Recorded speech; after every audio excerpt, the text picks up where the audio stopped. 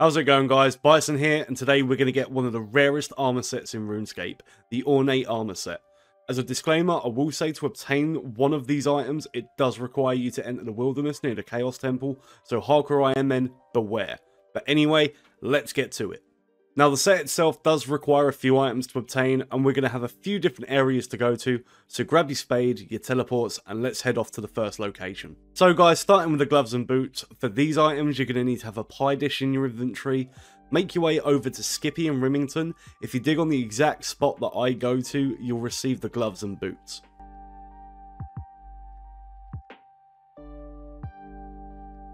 And now, let's get the legs. Okay guys, to get the legs, you're going to need to go to just east of the air altar, south of Falador. You need to have a raw herring in your inventory and dig in the exact spot that I'm standing in, and you'll get the legs. Next up, let's get the top. Now the top is the first item that's a little bit weird, so you need to have no items in your inventory, and you need to have no items equipped. Run up to the Black Knight's Fortress and stand in the exact spot that I am. Once here, perform the Shrug emote, followed by the Cheer emote, and the top will appear in your inventory.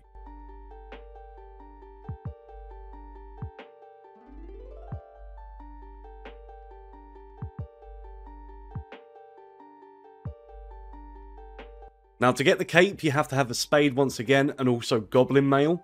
I would recommend the burning amulet as this is the item that requires you to go into the wilderness uh, once you have the Burning Amulet, you've got a telly out, the Goblin Mail, and a Spade.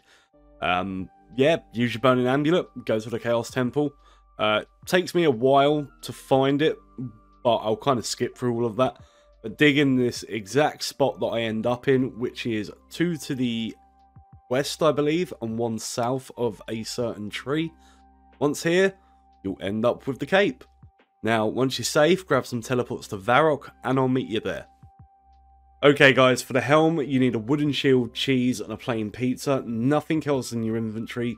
You want to make your way to this spot just south of Varrock between these three trees that kind of form like a weird triangle. Uh, I'll show you exactly where it is on the map. It's just here. But yeah, once you have those three items, nothing else, and you're in the spot between the trees, you want to perform the bow, yes, and then I believe it's cheer? No, clap.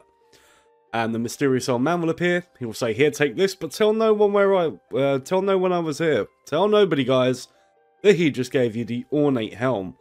Fashionscape unlocked. Guys, I hope the video was short and sweet enough, but gave you all the information that you needed.